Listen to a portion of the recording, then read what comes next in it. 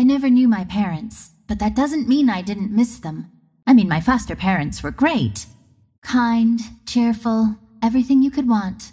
But all they could tell me was they found me after the storm of the century, abandoned by some Zarukinan refugee, even though others in the village told me there were no Zarukinan refugees. I've been through the ruins there. The trees that are left grow sideways. The destruction was absolute. Nobody survived that storm. But then, how did I find my way to a new family's doorstep? Papa used to joke that only the wind knows. He didn't know how right he was. You know, I think in some ways we all grow up with exaggerated versions of our personal histories.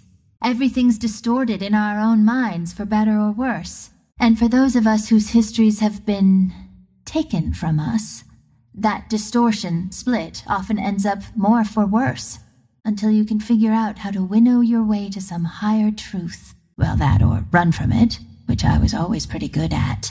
But not even I could run forever. I guess growth's a good thing, though.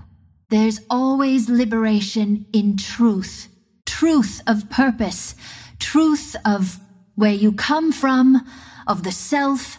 I started running from my truth so early, I don't think I even knew what I was doing.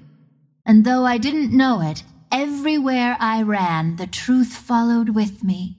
But I was deaf to it, deaf to what Mother Wind was trying to tell me, deaf to the archives of the ages whispered between the branches of every tree. No, it took an embarrassing amount of time before I learned to listen to the revelations of my birthright and start to grasp the promise of a new age.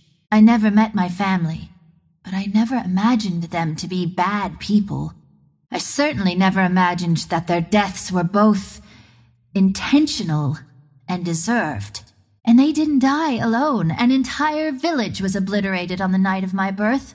I never questioned it growing up. Why would I?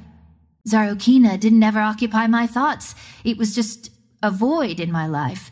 But now I sometimes think of little else because now I know that I wasn't just born on the night of a storm. No, the gale descended upon Zarukina that night because I was born. Because I was the last chance for Mother Wind to right a great wrong. My family, my real family, was special, but they weren't alone in their gifts. Other distant clans had also learned to forge ethereal connections with forces mortals could scarce comprehend. And not just with our precious wind, other elements had their adherents as well.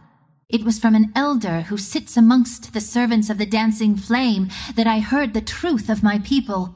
One who knew friendship with my ancestors, one who mourned their passing, and celebrated my return.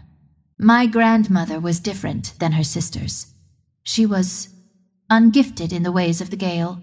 In those days, even though they lived apart, the Order of the Rising Gale played an important role in Zarukinan affairs. Together with the worshippers of the Ongvol, theirs was the counsel the village elders would seek in guiding the people. Unlike those who prayed to the Ongvol, the Rising Gale was not an open congregation. You were either born into it, or you weren't. But it was very rare for one of my family line to be born without the blessings of Mother Wind. So it was only natural that my grandmother would make a normal life for herself in Zarukina, that she would find comfort and love there amongst the normal people. But just as love can be a source of immense good, it can also be a conduit for great evil. My paternal great grandfather was high priest in Zarukina. He despised the windwalkers of the Gale, resented their influence, so when his son fell in love with a member of the Gale's oldest family, he saw an opportunity. He did not rush. He sanctioned their union, welcomed my grandmother into the village with open arms. He spent time with members of the order, learned as much as he could about their ways. Then slowly, but surely, he began to sow the seeds of fear and doubt about the true motives of those embraced by the Gale in the minds of my grandmother and a growing number of villagers, so slowly that the changes were almost imperceptible until it was entirely too late. I don't know precisely what the last days of my people were like. The flame tender could not say, but I know now. I could feel it. The night of my birth was a night of judgment, when a guilty sentence condemned all of Zarukina for the crimes they'd allowed to transpire. I don't know what comes next. I don't need to. I've taken what I need from the ruins of my past. Now I go where the wind takes me. Now I go where the wind takes me.